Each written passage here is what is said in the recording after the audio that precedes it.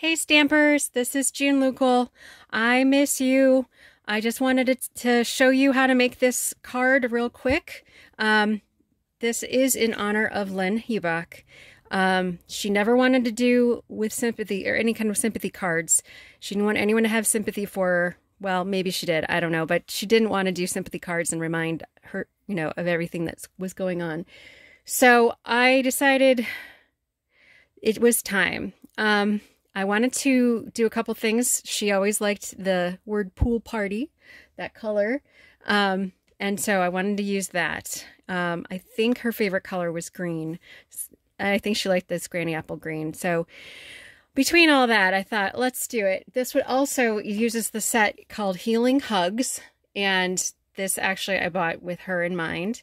Um, now it's she's passed on May 15th. Um, she'll always be in my heart.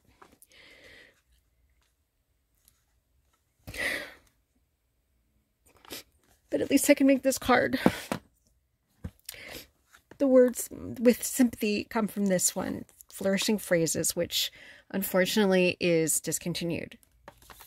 All right, let's get started. All right, so like I said, I'm using Pool Party. Um, I'm also using um, this uh, DSP stack that was the in colors from last year, and I believe that's been discontinued too. Um, so that is this paper. So first of all, here we go. Get our little supplies together. Um, all right. Hopefully you remember that. All right, so we have pool party. We're going to fold that in half. And then I have a trick for you. All right. Um, all right, so we put our tape.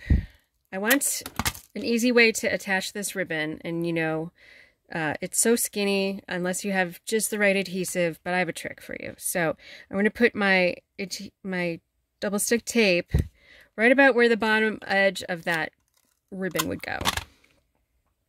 All right. And then I'm going to put that, and I made it a little bit big for you, but I'm going to put that right there on the edge of that tape. So you see some of it's still sticky, but that's okay because I'm planning to put that there. I'm also going to put, because I don't really know where the top edge of this, so I'm just going to put it directly onto the paper instead of guessing where that goes. And then put that here, right up against it. Okay, now I, mm, I think I just did about right about there. Now this side's going to need trimming, and I think it's easiest to go from the inside. Now, my scissors were not cutting the ribbon, my paper snips were not cut the ribbon very good. So I have my sewing scissors here. All right, and then let's use the paper snips again because I don't want to use my good sewing scissors on the paper. All right. Okay, so here we go. Here we have the background. Now, um, this is the Granny Apple green.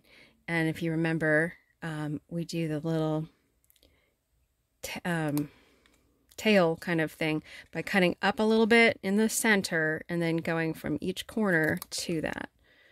All right, and I know I've got my eczema is flaring so badly right now.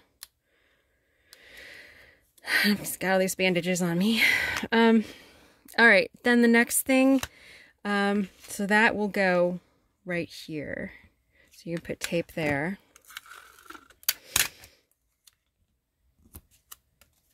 and that'll go here. You can overlap the ribbon a little if you want, up to you. Um, all right, now we're gonna do the flower and the um, words here. Okay, to do the flower, this is the little technique I wanted to show you too. So I'm using Pool Party. Now this is using the new distinctive ink, distinctive stamp that is um, being patented right now by the by Stampin' Up. Now I'm kind of not thrilled with how the center is not was not coming out real well. I could probably take a sponge dauber and add more ink or maybe a darker shade of ink. That might help it a lot too. But I decided I'm going to just um, help it out a little with some colored pencils. which I'm not sure what I did with. All right, so you see how the outsides, the outside edges look great, but the inside's a little pale. So I'm going to, oh, found the green one. Um, yep, there it is. Okay. All right, so I'm using Bermuda Bay because it's pretty close. Um, now, kind of like having this to look at now.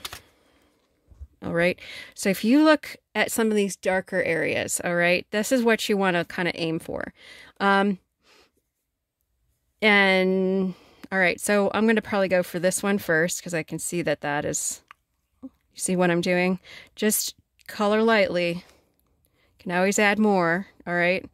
Barely touching the paper and rub that over it. So see, that's starting to stand out. Uh, where are some other parts? Here are some. Kind of making it match the outside here, isn't it? All right, so here we go. Some of it's a little bit of just practice playing around. Nice thing is um, this does erase a little bit, so if you do completely flub up something, you can you can fix it generally. and if you're coloring lightly, you, you, my tell my younger students um, do it light till you get it right. Draw it light till you get it right. All right. See, just a little extra pressure in the darker areas and ease up a little bit. So in here, it's a little hard to tell what's going on. And that's where you might want to refer to the top of the stamp set. See, it looks pretty dark in the middle, isn't it? Especially right here. And you can always Sharp pencils are really important too. Make sure you keep it sharp. Dull ones just, you know, they work, but they're not as good. All right. So,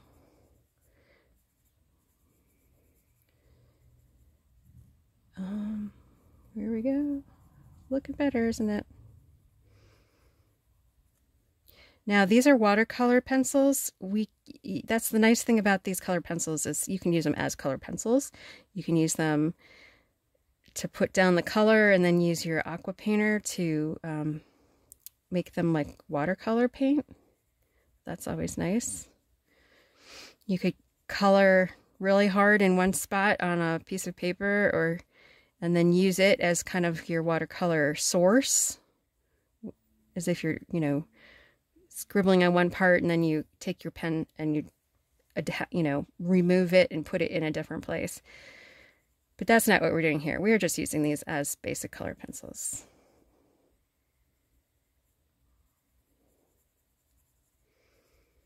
all right I know I'm doing this a little bit fast for you trying to show you what I'm talking about Kind of doing a Bob Ross moment here. Happy trees. All right. Let's see. So I want to go every so often, you might want to go back and you just like kind of step back and look at it. Make sure that overall there's the same amount of dark spots versus light spots. So see, I don't want to miss anything. There's some dark spots here and here and here, here here. It's pretty well balanced, actually. Um, I mean, you can play around with it more and more and more. It's it's up to you, but do you step back and make sure you haven't missed anything terrible. You know, big areas that you just didn't get to. But otherwise, this looks pretty decent. Better, more defined. And you can always go back and you know, to find more things a little bit darker here and there. All right, then you can cut it out. I am going to cut it out, the fussy cutting, right at the edge. No border on this one, but you can if you want.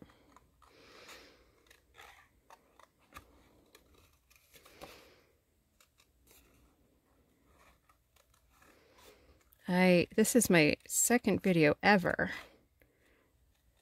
So I don't know how to fast forward yet. Working on things though. Baby steps, right?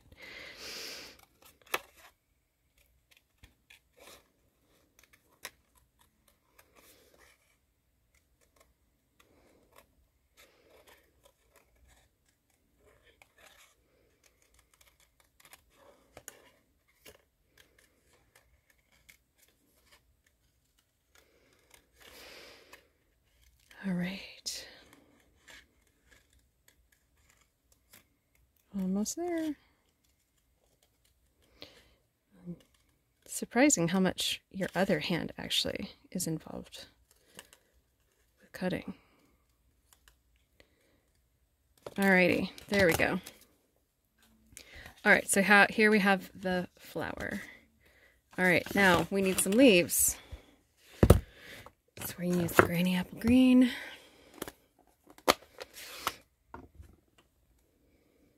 Gosh, I hope I even... I'll have to go back and make sure that was even in the view. I wasn't even paying attention. All right. Um, here we go. We're going to stamp that right there. And then we don't need this anymore. Here's my green. Because I did that other one, I'm going to try to make it the same kind of look. This one in front is much lighter. I don't know that it needs to be that much lighter. All right. That's a little bit of bit of help. All right, and then we need with sympathy using pretty peacock because that's the color I used in the background. All right, so here we go. All right. Oh, I forgot to cut the little tail part. All right, I will do that. I hope that's not crooked. Not bad. All right. Now, do that cut up at the center a little bit. And then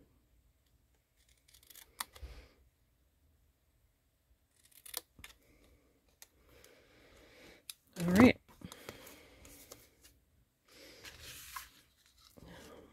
I'm going to attach that there. That looks good.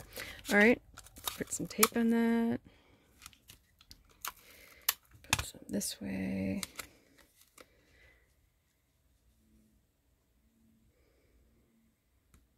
There.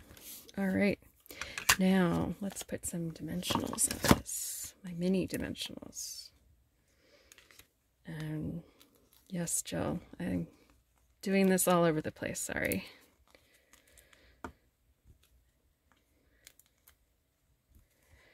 All right, let's put this guy on. Don't know why a rose is a guy, but hey. Um, take the little things off. All right, here we go. We'll put that on right there. All right, one more thing. I wanted to add some droplets, okay? And um, here's my T-pin. All right, so these are these epoxy droplets, and I, you know, I do a rule of three, and I didn't want to do too many because I really, like, this is all I have right now. So, uh, and I still have to divide it up for you guys. So I'm going to put one big droplet, like a bit of dew on this leaf, and then I'm going to put another little one. And I debated if I want to put them all on the roses, and it didn't quite look right. So I'm going to put another one. I don't know. I think I put that something like that. It's got a buddy. And then let's put another one as if it fell off the rose as a tear, maybe. Okay. And then I have three, and it's not overpowering the rose. I could put a million on them there. It'd probably look great, but I don't have a million, obviously. So, um, all right. So here is my original. That looks pretty close. All right. Well, I hope you enjoy um, that. And I'm sorry it took so long to get to it. Um, but the calyx just came. So I figured I was already late. Might as well do it all at once, right? So um, hopefully you enjoy the new catalog. There's lots of cool stuff in it. And I hope that we can continue the stamp club. Um, I think we'll, we'll have to see. Um, I hope to hear back from people anyway. Okay. But regardless, here you have this last project um, that I promised and a little bit of personal touch here for you. And um, otherwise, stay well. All right. Thanks.